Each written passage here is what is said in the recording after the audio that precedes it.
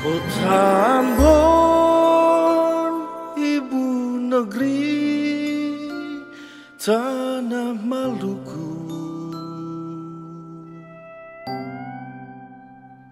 Di pinggir laut tempat kita berteduh.